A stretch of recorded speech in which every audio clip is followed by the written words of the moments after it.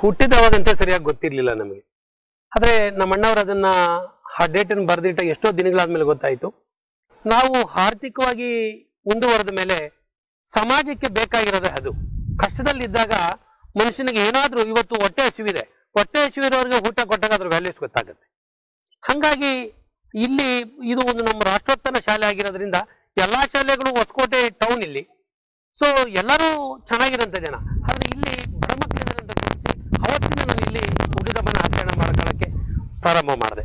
ಹಾಗಾಗಿ ನನಗೆ ಅವತ್ತಿಂದ ಇವತ್ತಿನ ತನಕ ಎಲ್ಲೂ ಹೋಗಲ್ಲ. ಆದರೆ ಇಲ್ಲೇ ಬಂದು ಹುಟ್ಟಿದಬ್ಬ ಮಾಡ್ಕೊಂತೀವಿ. ಆದರೆ ಹಾಸ್ಪಿಟ್ಲಲ್ಲಿ ಯಾಕೆ ಮಾಡಿದ್ವಿ ಅಂದರೆ ಹಾಸ್ಪಿಟ್ಲು ನಾವು ಏನು ಮಾಡಿದ್ವಿ, ಈ ರೋಟ್ರಿ ಪ್ರೆಸಿಡೆಂಟ್ ಆಗಿದ್ವಿ. ಅದೇ ಸಂದರ್ಭದಲ್ಲಿ ನಾನು ರೋಟ್ರಿ ಪ್ರೆಸಿಡೆಂಟ್ ಆಗಿದ್ದಾಗ ನಾನು ಎಲ್ ಟಿ ಫೌಂಡೇಶನ್ ಅಂತ ಒಂದು ಸಂಸ್ಥೆನ ತೆರೆದಿದೆ ಅವಾಗ ನಾನು ಫೌಂಡೇಶನ್ ಉದ್ದೇಶ ಇದ್ದಿದ್ದೇನೆ ಒಳ್ಳೆ ಕೆಲಸಗಳು ಮಾಡಬೇಕು. ಸಹಾಯ ಆಗಬೇಕು. ಈಗ ನೋಡಿ, ನಿಮ್ಗೆ ನೀರು ದಾಹ ಇದ್ದಾಗ ನೀರು ಕೊಟ್ಟರೆ ಅದ್ರ ನೀರಿನ ವ್ಯಾಲ್ಯೂ ಗೊತ್ತಾಗುತ್ತೆ. ಹೊಟ್ಟೆ ಹಸಿವಿದ್ದಾಗ ಊಟ ಕೊಟ್ಟರೆ ಅದ್ರ ವ್ಯಾಲ್ಯೂ ಗೊತ್ತಾಗುತ್ತೆ.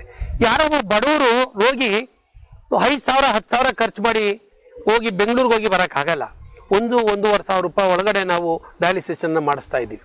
ಆದರೆ ನಾನು ರೋಟ್ರಿಗೆ ಸೇರಿ ನನ್ನ ಫೌಂಡೇಶನಲ್ಲಿ ನನ್ನ ಆಸಕ್ತಿನ ವಹಿಸಿದ್ದಕ್ಕೆ ನನಗೆ ಆ ಜವಾಬ್ದಾರಿ ಸಿಕ್ತು.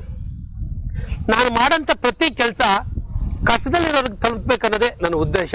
ಅದನ್ನು ಯಾವಾಗಲೂ ಮಾಡೋಕ್ಕಾಗಲ್ಲ. ಹಾಗಾಗಿ ಯಾವುದಾದ್ರೂ ಒಂದು ವಿಶೇಷವಾದ ದಿನ.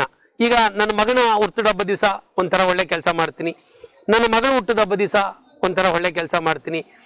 ಸೊ ನನ್ನ ಹುಟ್ಟಿದ ಹಬ್ಬ ದಿವಸ ಒಂಥರ ಒಳ್ಳೆ ಕೆಲಸ. ಈ ಥರದ ಕೆಲಸಗಳು ಮಾಡ್ಕೊಂಬಂದಿರೋಂಥದ್ದೇ ನನಗೆ ರೂಢಿಯಾಗಿ ಬಂದಿರೋಂಥದ್ದು. ಕಾರಣ ಯಾಕಂದರೆ ನಾವು ಆ ಕಷ್ಟದಿಂದ ಬಂದಿದ್ದೀವಿ.